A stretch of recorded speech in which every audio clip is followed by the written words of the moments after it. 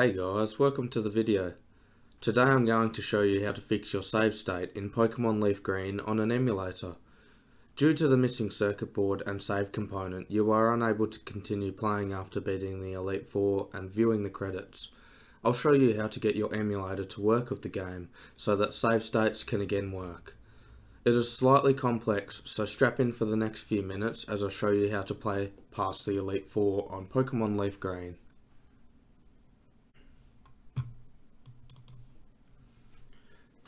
So here's what usually happens when you finish the game. This is in the credits after beating the Elite Four. Now it says the end and then the save state's supposed to restart the, the cartridge and it's meant to load up to the main menu. Which we'll see in just a moment.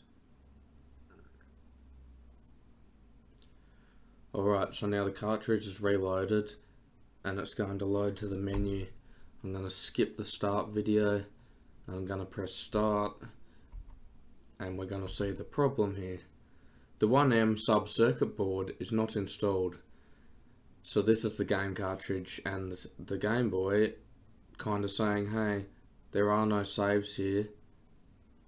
And then it'll start a fresh game, as you can see here, and it thinks there's no saves or content. So that's the issue here. Alright, so as you'll see here I've already got all my files together and organised on the screen which is basically what it'll look like in your folder. To the left over here I have the Visual Boy Advance files and the Pokemon Leaf Green save. And then over here I just have um, the game save files, sorry the save game or SGM files and I had the Pokemon Leaf Green GBA file, which is the ROM. I have a Pokemon LG tutorial here as well, so for anyone wondering what that is, that's nothing, that's just to put my videos in while making this video. So now that we've seen the issue and had a bit of an introduction to what we can do to fix it, let's run through what we do. So we'll start up Visual Boy Advance like normal, and then we'll open up the ROM, which will be Pokemon Leaf Green GBA, which is that file there. Now we'll load it up like normal, confirm that the issue is still there. Might as well make the screen a bit bigger. So we'll go to load and then we want these. So I've got some organized save files here. So I've got um, the rival fight, so just before the rival fight, which means that if I load that, I'll have to beat the rival again after the Elite Four and also the rival fight. So if I load that one, it'll be just after I've beaten Gary um, and won the Pokemon League. And then I've got this one, which is a few moments before the credits end. So we're just going to do after the Elite Four. Now we're immediately going to go to options and in the emulator options we're going to go down to save type so it's on automatic. What we want to do is change it to flash and then we want to go to the same area, options, emulator, save type and instead of flash 64k it needs to be flash 128k. Now the next thing we're going to do is go to the memory viewer which is just here, it's come up on my other screen. So what we're going to want to do with the memory viewer is type in a certain set of numbers. Alright, now continuing on, we're going to type in the top right box 300, 500, 4. Now we're going to press go, and that'll go to this line 300, 500, 4. Now, I've already got the game open, so it'll say 00, 0 for you, for me, it says 01 because I've already saved it. All you need to do is change 00 to 01. That's all you need to do in this area. Now it's very important to note that the ROM has to be open here in Visual Boy Advance. And the reason the ROM needs to be open is to actually reach these BIOS files. So um, you won't be able to do anything here if the ROM isn't open. You'll try and change that to a 1 and it just won't let you. It'll make a, a sound and it won't let you. So now you've typed in 300, 504, press go,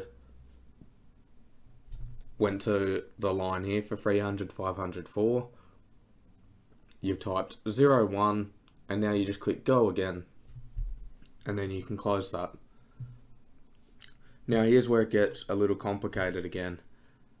So following the method we've just done, we are going to do some saving and some loading. We're going to go to file and we're going to click save and we're going to uh, save over our file for the Elite 4 save game and then we're going to immediately load the Elite 4 save game that we've just saved. Now that's well and true and easy. So the next thing we're going to do is like the credits roll. So I'm going to put it in fast forward and I'll cut to the credits or to the end of the credits.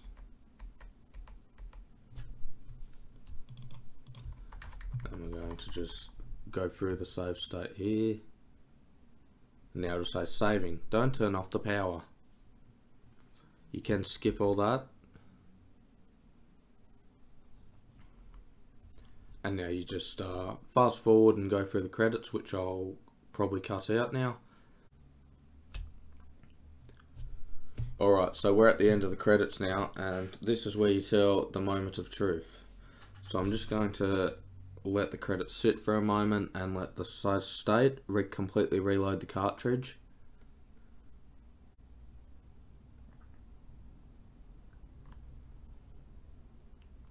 Alright, now this is where it should work. So what will happen is you'll press start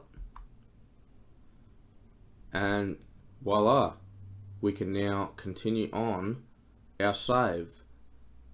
It says my name, the time 29 hours 24 minutes, I've got 37 in my Pokedex and I've got all 8 badges.